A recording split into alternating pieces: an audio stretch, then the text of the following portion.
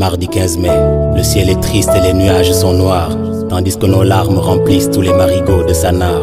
Les faits sont sombres mais clairs, inutile de crier au loup. Un étudiant a été tué, aujourd'hui nous sommes Fallou. On a créé des balles mortelles mais on a oublié le sang-froid.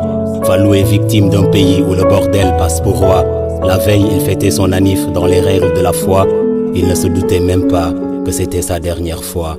26 ans, deuxième année, réputation de garçon sage. Il a laissé une jeune épouse et un enfant, un petit ange. Il était à un pas de réussir l'avenir à sa portée. Mais elle est bien terrible, la mort, elle ne sait pas compter. Il a espéré, mais il a fini par être enterré sans préavis. Ça aurait pu être chacun de nous, moi, toi, elle ou lui. Il ne pensait pas mourir, il a lutté, il ne voulait pas partir. Il est tombé pour la cause de l'étudiant, il est devenu martyr.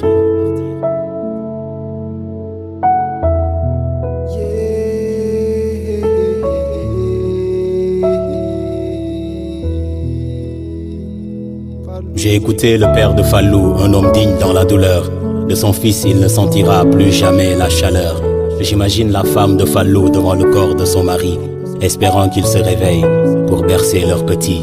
Le gouvernement va de maladresse en maladresse pendant ce temps. Les forces du désordre se font les ennemis des étudiants. Ce n'est qu'un incident, sont-ils bêtes ou font-ils exprès? Je pense qu'il leur faudrait un cours magistral de dignité. Fallou voulait vivre, il avait des rêves plein le canal. Il rêvait de voir ses initiales flotter sur le drapeau national.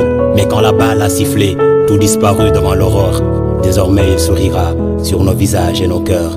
Quel est le prix de la vie si on la prend pour un rien? Qu'attendre de l'humanité quand on ne compte plus nos combien? Combien de morts, combien de sorts, combien de corps étreints? Combien de familles devrions-nous plonger dans le chagrin? Combien de morts, combien d'avenir, combien d'espoirs éteints? Combien de fallots devrions-nous pleurer encore Demain matin?